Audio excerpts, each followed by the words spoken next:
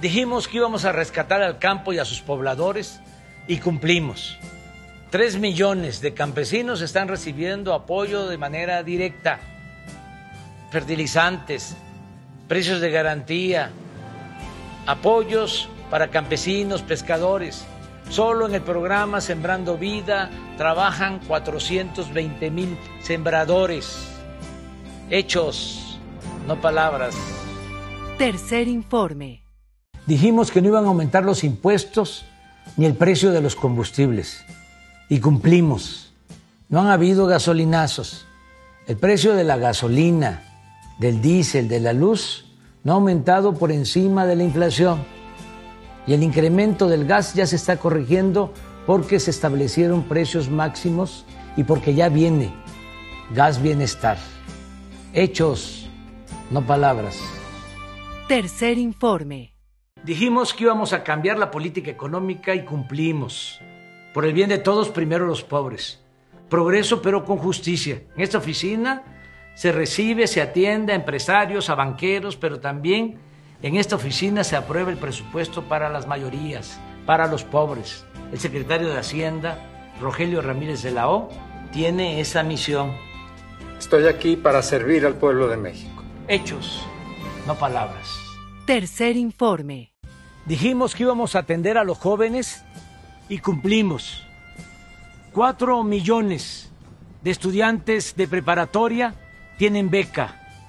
400 mil estudiantes de nivel universitario de familias pobres reciben 2.400 pesos mensuales.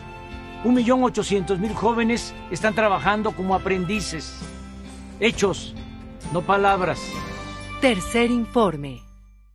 Dijimos que íbamos a aumentar el salario de los trabajadores y cumplimos. Los neoliberales corruptos dejaron el salario por los suelos. Lo hemos aumentado 50%, como no sucedía en 40 años. Sin embargo, apenas se alcanza para comprar 8 kilos de tortilla. Por eso lo vamos a seguir aumentando. Es justicia. Hechos, no palabras. Tercer informe. Gobierno de México. Dijimos que íbamos a construir grandes obras en beneficio del pueblo sin contratar deuda, evitando la corrupción. Cumplimos.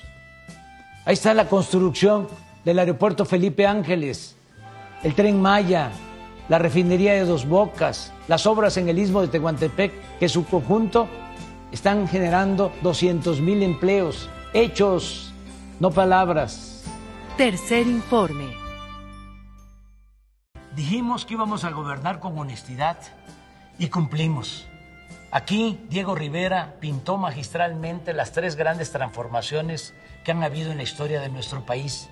Y nosotros con mucho orgullo estamos llevando a cabo la cuarta transformación que consiste en acabar con la corrupción. En Palacio ya no hay ladrones, hechos, no palabras. Tercer informe. Gobierno de México.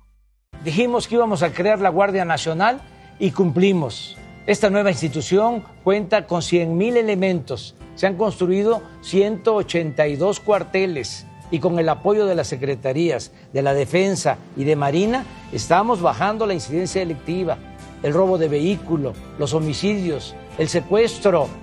Estamos trabajando todos los días para garantizar la paz y la tranquilidad hechos, no palabras. Tercer informe. Dijimos que íbamos a crear la Guardia Nacional y cumplimos. Esta nueva institución cuenta con 100.000 elementos. Se han construido 182 cuarteles y con el apoyo de las secretarías de la Defensa y de Marina estamos bajando la incidencia delictiva, el robo de vehículo, los homicidios, el secuestro. Estamos trabajando todos los días para garantizar la paz y la tranquilidad hechos, no palabras. Tercer informe.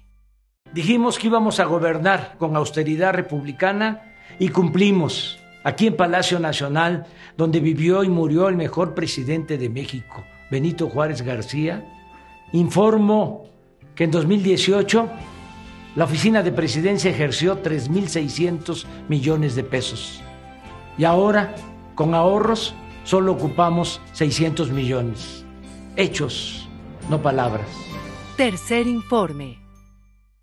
Dijimos que íbamos a salir pronto de la crisis económica originada por la pandemia. Cumplimos. Ya se recuperaron el 80% de los empleos perdidos. No nos endeudamos. No ha habido devaluación como no sucedía en 50 años. Las reservas del Banco de México crecieron en 20 mil millones de dólares y el crecimiento económico este año va a ser del 6%. Hechos, no palabras. Tercer informe. Dijimos que íbamos a garantizar el derecho a la salud a todos los mexicanos y cumplimos. Estamos enfrentando una prueba muy dolorosa. Estamos enfrentando la pandemia, pero nadie se ha quedado sin atención. Ya se vacunó al 60% de la población y vamos a vacunar a todos los mayores de 18 años para octubre. Hechos, no palabras. Tercer informe. Dijimos que por el bien de todos, primero los pobres, y cumplimos. La pensión a 11 millones de adultos mayores, a niñas y niños con discapacidad, las becas para estudiantes de familias pobres, la atención médica, los medicamentos gratuitos, ya son derechos constitucionales, son una realidad. Hechos, no palabras. Tercer informe. Gobierno de México.